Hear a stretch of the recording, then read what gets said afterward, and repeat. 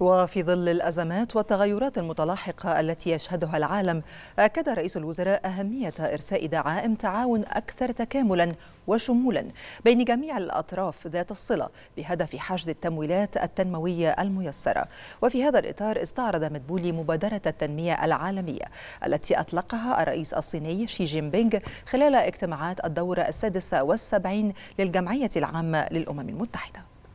إن الأزمات والتغيرات المتلاحقة التي يشهدها العالم تشكل تحديا غير مسبوق أمام مسارنا التنموي مما يزيد من تكلفة تحقيق أهداف التنمية المستدامة واتساع فجوة التمويل في الاقتصادات النامية والناشئة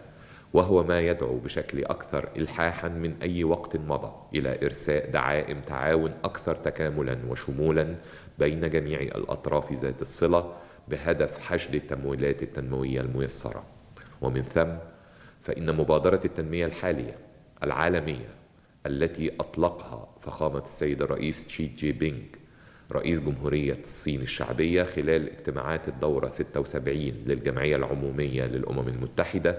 تأتي كاستجابة عملية للعمل نحو معالجة هذه التحديات وحشد الجهود وضخ مزيد من الزخم لتحقيق أهداف التنمية المستدامة.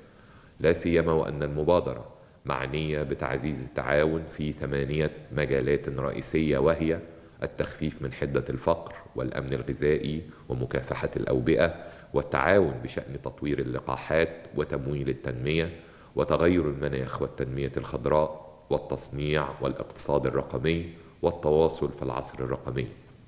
وهي مجالات تتوافق بشكل عام مع أبرز الأولويات التنموية للاقتصادات الناشئة لا سيما رؤية مصر 2030